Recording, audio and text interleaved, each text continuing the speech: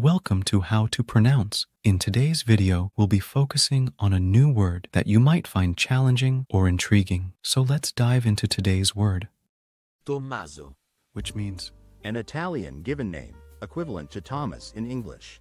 let's say it all together.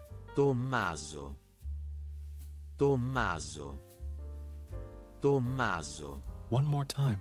Tommaso, Tommaso, Tommaso. Thank you for joining us on this adventure in pronunciation.